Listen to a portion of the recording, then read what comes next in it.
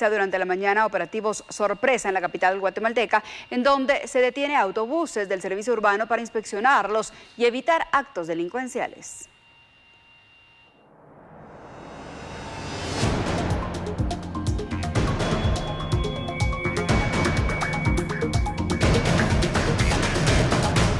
Policía Nacional Civil continúa trabajando la operación Centinela para la seguridad del transporte público.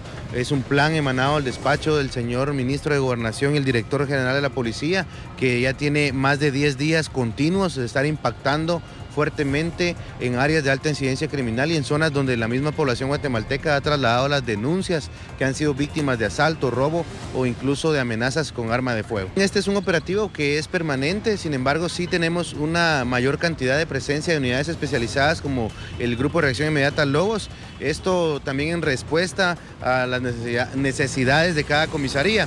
Ayer estuvimos en la comisaría 15 en el sector de los asentamientos de alta incidencia criminal del municipio de Villanueva. Hoy se está impactando en los próceres, en la Avenida Las Américas, Avenida Reforma, Boulevard Liberación, en la calzada Roosevelt, Aguilar Batres, en la entrada al Atlántico y en la bajada también de la carretera El Salvador. Tenemos varios equipos de Lobos Grill, unidades de comisaría y la supervisión directa del operativo está a cargo del comisario general Ovidio Marroquín, jefe de la subdirección de operaciones. No, está muy bien, o sea, con respecto a seguridad ciudadana me, no me puedo quejar, está bien.